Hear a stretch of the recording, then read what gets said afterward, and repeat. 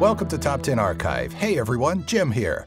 Some artists are known for being eccentric, but until you really dive into their work, you may not comprehend just how peculiar their minds are. Various pieces of art throughout time have proven to twist and bend our minds through the use of incredible, surreal imagery and unusual mediums. The following works of art are what we'd call the 10 weirdest. Number 10. Cupid Making His Bow. Flemish painter Peter Paul Rubens is easily recognized through his cherubic imagery that made up much of his 17th century works. Cupid making his bow offers no exception to his typical style, and while many of his images depict twisted and violent acts, it's this peculiar work from 1614 that catches our attention. The piece is a copy of the 16th century work of the same name by Italian artist Parmigianino, but there's an uncomfortable devilishness to Rubens' version that causes it to stand out. While Parmigianino's Cupid is painted with a rigid face, Rubens' take bears a pleasured look that eerily contrasts the terrified demeanor of the cherubs at his feet. The 1614 iteration of Rubens' darker side is unsettling in a mischievous way. Number 9. The Temptation of St. Anthony. Judging by Matthias Grunewald's depiction of the temptation of St. Anthony, one has to assume that that temptation was acid? Maybe mushrooms. If you know the history behind the subject, you know that the image shows the supernatural temptations that St. Anthony faced while roaming the Egyptian desert. But a fresh mind to the aged tale will see only madness and natural abominations. The German Renaissance painter earned his fame as a painter of religious art, including the crucifixion, Christ bearing the cross, and the mocking of Christ. But the Temptation of St. Anthony stands out as his oddest work we've been able to find. Number 8. Anatomical Pieces.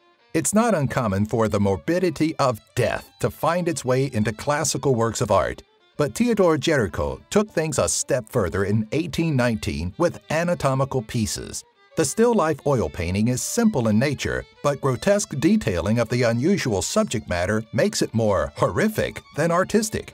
The French Romanticist is best known for his 1819 work, The Raft of the Medusa, but his admiration and knowledge of anatomy often twisted his complex style into something far more outrageous and strange, like this piece of severed body parts.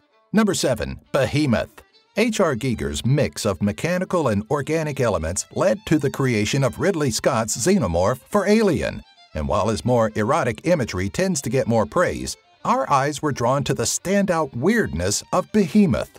All of Giger's art is so alien and filled with adult imagery that the giant cat head, or what we assume to be the behemoth, seems so incredibly out of place. The surrealist created so many unusual images, but his weirdest just so happened to be the one with the most recognizable element to it. Number 6. Immersion. Not all art is touched to a canvas or depicts some infamous struggle. Some are simply meant to be expressive or, in the case of Andre Serrano's Immersion, controversial. The subject of the 1987 image is simple. Serrano submerged a small plastic crucifix into a glass of his own urine, and, wouldn't you know, quickly became the subject of much Christian backlash. Despite what the strange, award winning image portrays, Serrano claims it wasn't a means of denouncing the Christian faith, but rather alludes to how commercialized iconic religious figures like Jesus Christ have become in modern culture. Number 5. Figure with Meat. Produced in 1954, Francis Bacon took a portrait of Pope Innocent X and twisted it into a gruesome quality to feature a man sitting between a bisected cow. Where the Pope's portrait, which was painted by Diego Velázquez, is without emotion, Bacon's take instills a fear on his version of the Pope, a deranged man who seems to be screaming in terror. Without context, Figure with Meat looks to be ghostly and powerful, as if capturing the brutality of the butchering industry as the slaughtered cow hangs over a rich looking figure.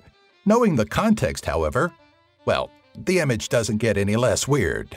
Number 4. Self Portrait with Gun. The style of self portrait with gun is quite unique, definitely more so than the title, but it's otherwise a normal image of a young lad with a gun, right? Well, kind of. You see, artist Chris Trueman stepped outside of the box when deciding the best medium for his latest work and, somehow, landed on the idea to use dead ants. To create the 2010 portrait of his younger brother, Trueman used over 200,000 dead ant bodies. The piece got a lot of attention, and Trueman found himself receiving high dollar offers that far exceeded the weirdness of the image itself. According to Trueman's own blog, the image was eventually sold to Ripley's Believe It or Not. Number 3. Lunch Monkey In 2008, surreal horror artist Karl Persson took his brush, a collection of oil paints, and somehow ended up creating this nightmarish little devil. Aptly titled Lunch Monkey, the creation is everything we expect to see in our most terrifying of dreams. The 21st century artist may not have the recognition of more classic painters, but there's no forgetting the wide-mouthed, wrinkly-skinned figure of Lunch Monkey. One look at this painted monstrosity and the name Karl Persson will be embedded in your brain forever. Number 2. The Scream Just because a painting is famous and has been reproduced on countless occasions doesn't mean it can't also be weird.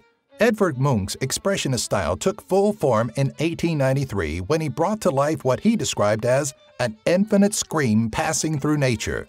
While walking along an inlet above the sea, Munch found himself inspired by the blood-red color of the sky as if it were bleeding. Combining the scream of nature with the bloody clouds overhead, Munch created The Scream, a strange work that has received much acclaim and garnered a lot of money. Number 1. Saturn Devouring His Son Calling to mind paintings like The Massacre of Innocents, which portrayed Herod the Great's infanticide to protect his throne, and Francisco Goya's Saturn Devouring His Son, it's safe to say that patriarchal insecurities were a big thing in historic texts. Between the two vastly different images, the latter has a melancholy to it that is disturbing whether or not you know the story behind it. According to legends, prophecies told of a son of Saturn that would overthrow him. So, to prevent it from coming true, Saturn ate each child as they were born. The morbid image, Saturn's wide eyes, the child's limp body, they all come together in an odd, morose display of art.